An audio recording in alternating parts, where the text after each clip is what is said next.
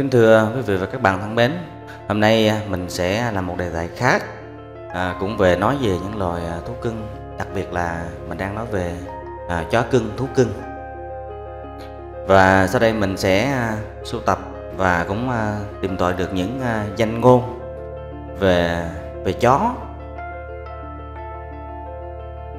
Thì à, trong cái một danh ngôn về chó rất là nhiều nha các bạn.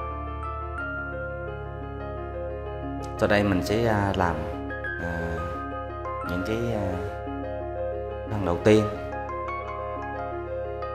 Danh ngôn à, hay về chó. Có ba người bạn trung thành. Một người vợ tắm cám. Một con chó nuôi từ bé. Và một số tiền dự trữ. Đó là câu danh ngôn thứ nhất. Ngoài con chó sách là người bạn tốt nhất của con người. Trong con chó, quá tối để đọc. Đó là câu danh ngôn thứ hai. Loài chó rất thông minh.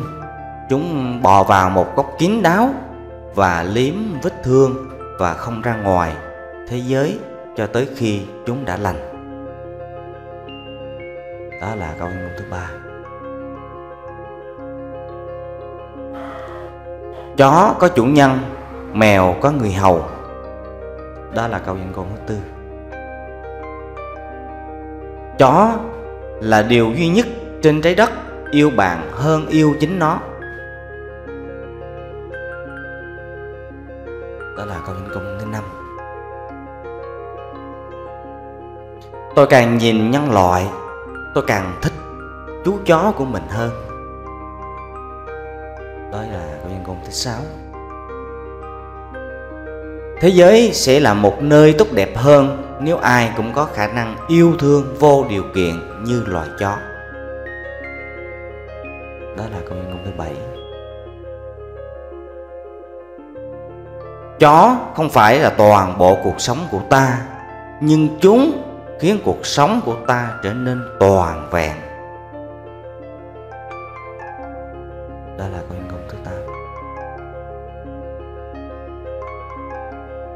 Tôi nhận ra rằng mỗi khi tôi mất một chú chó, nó mang đi theo một mảnh tim tôi và mỗi chú chó mới đến với tôi lại tặng tôi một mảnh tim mình. Nếu tôi sống đủ lâu, tất cả tim tôi sẽ trở thành chúng và tôi sẽ trở nên hào phóng và đầy yêu thương như chúng. Đó là câu chuyện công thứ 9 chó sẽ dạy bạn tình yêu thương vô điều kiện. Nếu bạn có điều đó trong đời, cuộc sống hẳn sẽ không quá tồi tệ. Đó là câu công thứ 10 nếu không có chó ở thiên đường, khi chết đi, tôi muốn đến nơi chúng đến. Đó là câu nhân công thứ 11 quen quen vôi, quen vội chớ sờ ngà. Quen vôi chớ sờ ngà, quen chó chớ sờ răng. Đó là câu nhân ngôn thứ 11 chó là một trong những lý do còn lại giải thích vì sao ta có thể thuyết phục một số người ra ngoài đi dạo. Đó là câu nhân ngôn thứ 12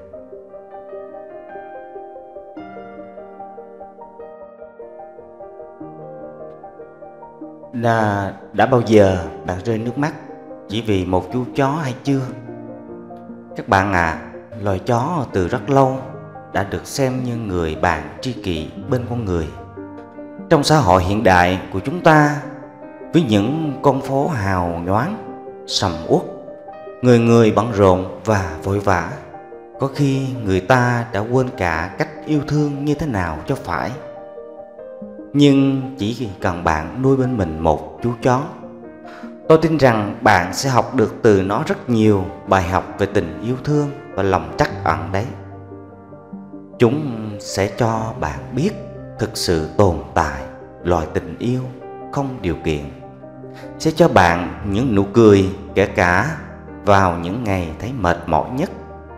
Sẽ không bao giờ cho bạn cảm giác cô đơn hay bị bỏ rơi vì lúc nào chúng cũng luôn muốn gắn kết với mình, với cuộc đời bạn.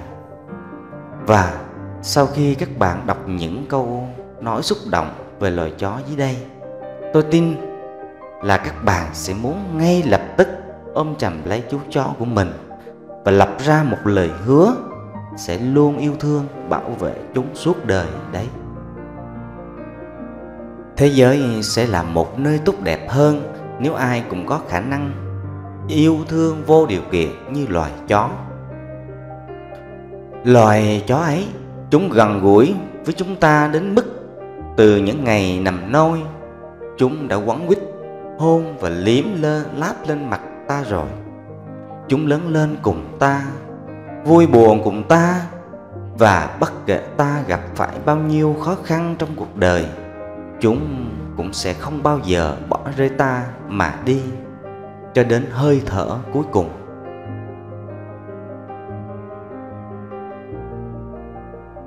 Chú chó của bạn là điều duy nhất trên trái đất, yêu thương hơn yêu chính nó. Tôi không thể phán xét những người ăn thịt chó, nhưng tôi hy vọng rằng sẽ càng ngày càng có ít hơn những đứa trẻ như tôi đứng bằng thằng ngoài cổng và nhìn về phía đầu đường, cả chiều chỉ để đợi một cái bóng quen thuộc đã không bao giờ trở lại nữa. Tôi nhận ra rằng mỗi khi tôi mất một chú chó, nó mang đi theo một mảnh tim tôi và mỗi chú chó mới đến với tôi để tặng tôi được một mảnh tim mình. Nếu tôi sống đủ lâu tất cả tim tôi sẽ trở thành chúng, và tôi sẽ trở nên hào phóng và đầy yêu thương như chúng. Một con chó sẽ không quan tâm đến việc bạn thông minh hay ngu dốt, bạn xinh đẹp hay xấu xí. Chỉ cần bạn trao trái tim mình cho nó, và nó sẽ trao lại trái tim nó cho bạn. Khi bạn cứu một chú chó có thể điều đó sẽ không là gì trong thế giới của bạn. Nhưng bạn đã thay đổi thế giới của chúng rồi. Tôi không dám ăn thịt chó vì luôn sợ sẽ ăn nhầm thịt một người bạn trung thành. Sợ ăn nhầm mắt kẻ canh giữ tuổi thơ của một đứa trẻ. Sợ ăn nhầm đôi mắt của một người mù và sợ mình mình lỡ ăn mất người thân của một gia đình. Khi một chú chó bị bỏ rơi, dù đau đớn thế nào, chúng nhất định vẫn sẽ tìm về nơi đã từng cho chúng tình yêu thương. Khi bạn quyết định nuôi một chú chó là bạn phải sẵn sàng chấp nhận nỗi đau khi mất chúng à, đó là những cái à, câu hay nhất à, nói về à, chó. À, sau đây mình cũng à, xin à, kể sơ lược qua một à, mẫu chuyện mà ngoài đời thực à, à, cũng mình cũng đã chứng kiến mà đã rơi nước mắt. Đó là cái một gia đình kia à, khi bạn bè tới à, chuẩn bị tổ chức nhậu nhưng không không thấy à, con gì không thấy có món gì để làm à, màu để nhậu thì à, trong nhà có một con chó.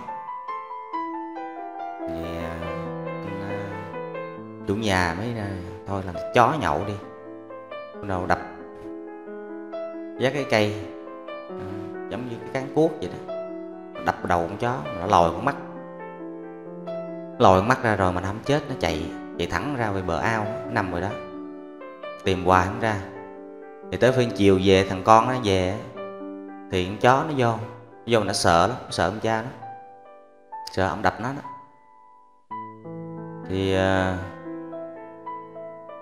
nó sợ nhưng mà nó vẫn à, uh, quắt đuôi nó vẫn uh, nó vẫn uh, là uh, quấn quýt mà nó không dám dám tới gần.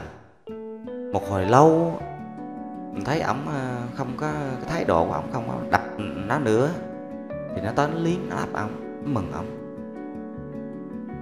thì ờ, lúc này ổng đã làm cái món khác ăn rồi nhậu rồi. Cho nên là, là bỏ qua cho nó. Nhưng mà ông thấy cái con mắt nó lòi lòi một một con mắt ra rồi là máu chảy đầm đề hết. Thì uh, thấy con người nó cũng dứng dưng nó không có gì không có một cái thái độ gì mà gọi là ăn năn rồi thằng con á, thì đi học về thì nó nó nó mừng do thằng con thằng con đi học về nó mới chạy ra. Nhưng thằng con chưa học về nó chưa chạy ra. Nên là nó mừng mừng con. Rồi thấy ông cha vậy cũng quá đập nó mà. Rồi nó cũng mừng nó cũng quát đuôi. Nó không có ôm hận nó không có hận thù trong lòng. Nếu như con người mà đập gì là có chuyện lớn đấy. Con người với nhau thôi. Có chuyện lớn đó chứ không phải chuyện nhỏ mình thấy cái cảnh đó tự nhiên đúng là con người không bằng con chó thì cho nên khuyên các bạn ờ, hãy mau bỏ đũa khi phải gấp phải miếng thịt chó. Và đừng có suy nghĩ đến ăn thịt con chó. Vì trên đời này, nếu mà tình con người không ai thương mình bằng cha mẹ mình, và con thứ hai thành viên trong gia đình không ai thương mình, yêu mình và săn sóc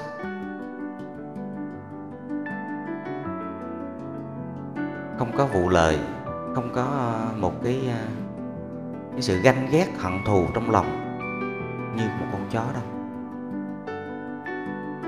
Cảm ơn các bạn đã ờ, theo dõi và xem hết video. Lâu lắm rồi mình cũng chưa làm.